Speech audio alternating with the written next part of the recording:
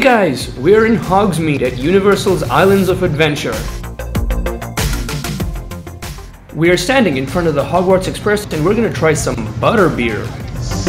Now if you look at that, it's got, it's a golden color with some whipped cream on top.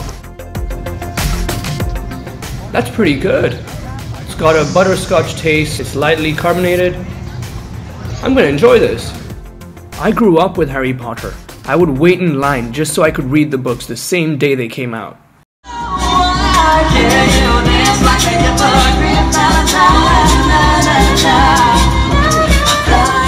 Seeing that world come to life was quite an experience.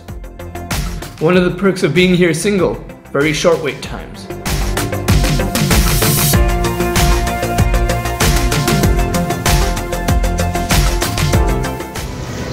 I'm lost in the Jurassic maze. I don't know how to get out of here. I haven't been to many theme parks, but the attention to detail, story integration, and sheer scale at Universal Orlando has set the bar pretty high. So we are done here at Universal Studios and Universal Islands of Adventure. Before we set off to Miami, we're going to do a quick drive through downtown Orlando.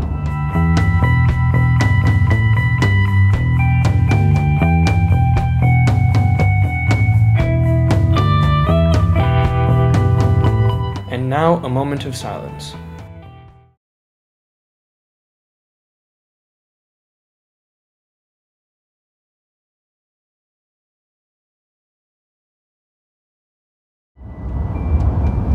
And now we are on our way to Miami. Subscribe for the next episode and click here to watch the previous episode in New Orleans. Thank you for watching The Road Ahead.